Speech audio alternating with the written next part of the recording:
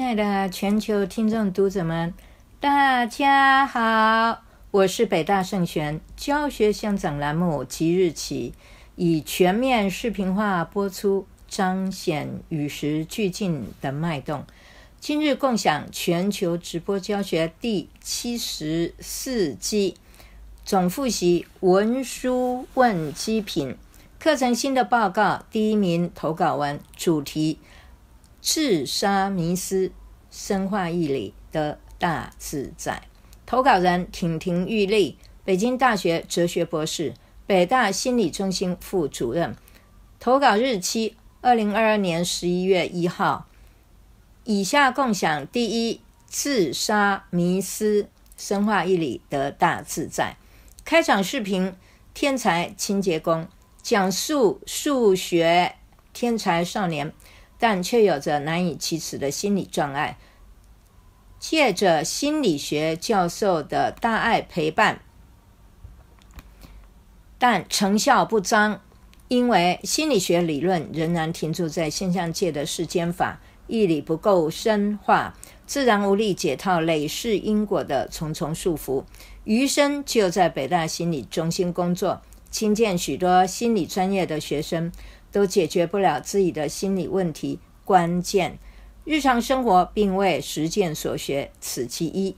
再者，义理不够深化，未能触及最深层的灵性终极本质，与婴儿现象界与呃终极本质混为一谈，当然无力抢救自己人生的困顿，更遑论迈向永恒的真幸福。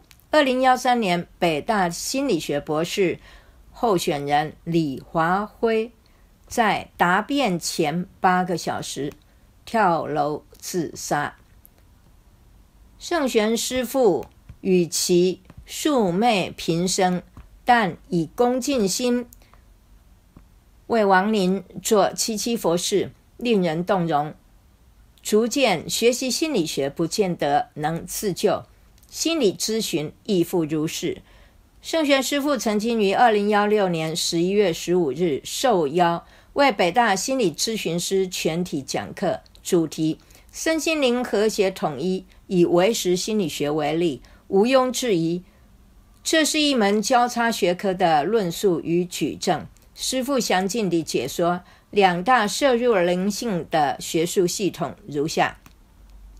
第一，唯识心理学；第八，阿拉耶识；第八意识及阿拉耶识，以及藏藏常识。它有三大功能：能藏所藏，直藏。简而言之，收藏一切业行的种子。我人的降生，就是牢固地带着累世造作行为的业种，由善恶果报的业因决定投生的种种细节。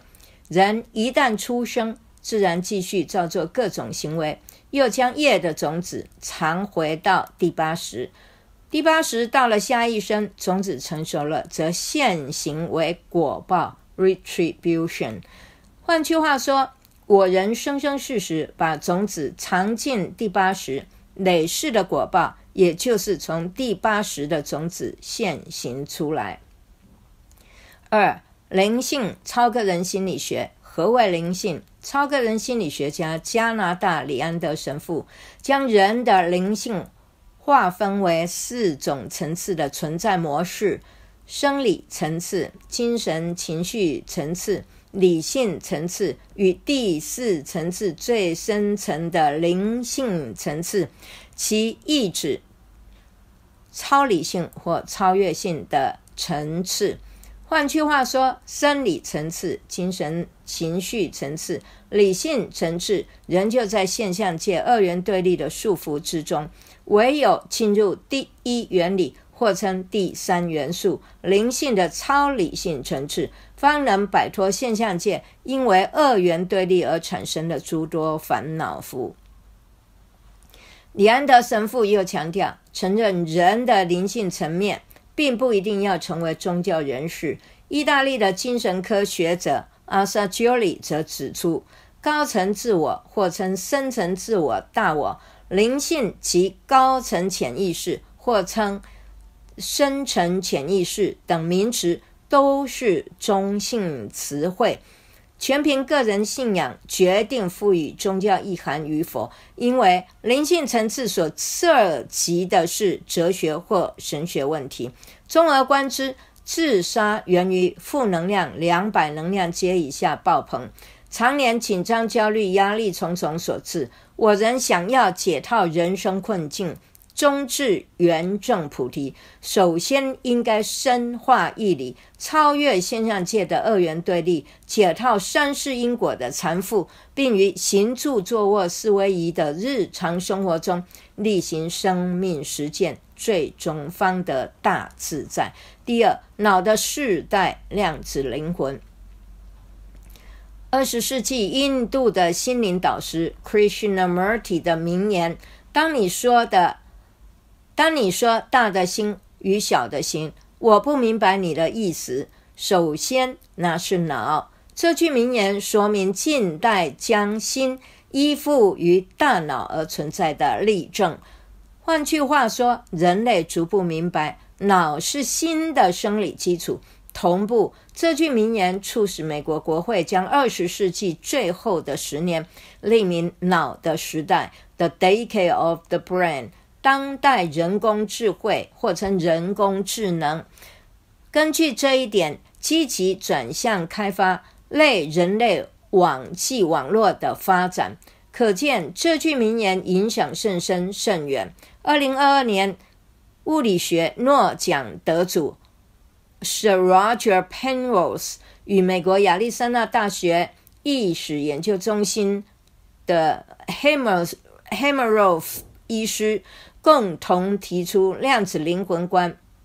他主张，当构成灵魂的量子物质离开神经系统，会重返波函数宇宙能量的叠加态，此时便会出现濒死经历，因为在神经元微导管 （microtubule） 内临时的。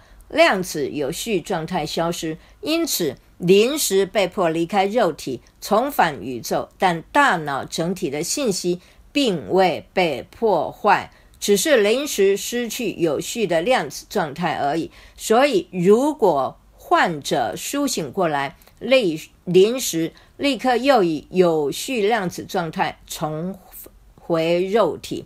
大脑是新的生理基础，也是心理学、脑科学。乃至量子力学的研究物件，师傅带领觉西轩不拘泥于理论知识的传授，而是不断透过实战训练，例如时间的多头运作，体悟大脑内警觉系统 （alert system） 与执行系统 （executive system） 如何切换进行交互作用。其次。动中持咒训练法，让我人在动态中借由耳根向内关照法音宣流，据此进入定境，不受周遭人事、实地物呃所干扰。动中持咒，动中持咒，心念耳闻，念而无念，无念而念。力求超越一切心及其形象的束缚，以及超越中的超越，方能圆满反闻闻自信，时时回归自信，探索内在觉醒，终至定慧等持圆正菩提。再者，动中禅定方法，就是在各种动态的冲击中，训练行者挑出共振频率，并且借由心安定，过滤其他的频率。干扰波让自己的心与宇宙的能量时时产生高频共高频共振。根据这一点，二六时中处于禅定的境界。综而观之，觉西轩的训练是与时俱进地紧扣大脑的研发，以及量子力学的前沿发展。圣玄师傅自己先行实证，从实践起。训练中领悟成就，立基于脑科学的动态禅定功夫，并将其传授与弟子以及有缘众生。综而观之，觉西轩以修行修学文殊法教见长，文殊则以智慧卓越智慧挂帅。圣玄语录云：若无一切心，何修一切法？坊间人人停住现象界，误解为既然无心，则不用修任何法。这种彻底错误，说明义理肤浅，带给世人的危害甚深。师父则详解该经句如下：修行境界、体悟现象界与终极本质的一如 oneness 平等性，无二无别。自然带来心与法同时具敏的终极体悟。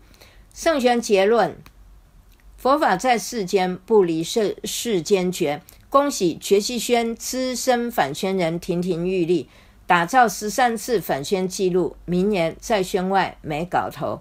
上榜人以聪明才智见长，思维敏锐。今日主题彰显其专长，并且。横涉脑之实物运作与当代最前沿的量量子灵魂，令人赞叹不已。圣玄援引经典补缺如下：六祖坛经般若品云：佛法在世间，不离世间觉，离世觅菩提，犹如求兔角。